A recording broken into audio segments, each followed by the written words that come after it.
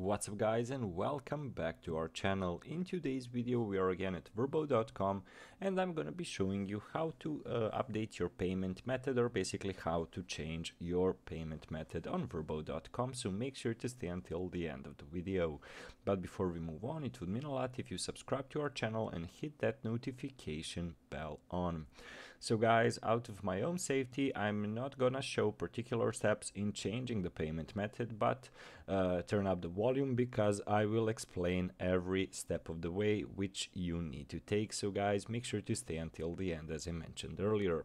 So Basically on Vrbo, like many other websites which include a payment method and a payment process, uh, you can actually add or edit your credit card info in your account for booking under the pay-per subscription model.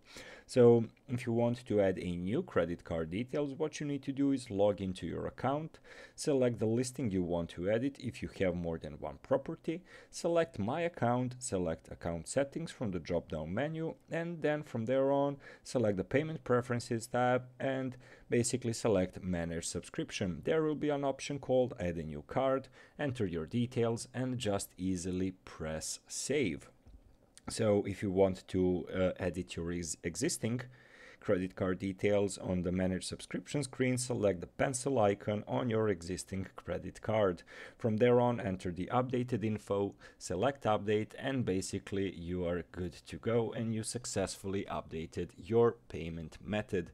So guys, basically that's the entirety of the process on how to update your payment method on Vrbo or how to change it.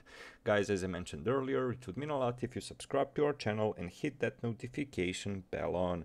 That's it for today guys, thank you so much for watching and see you in our future videos. Goodbye.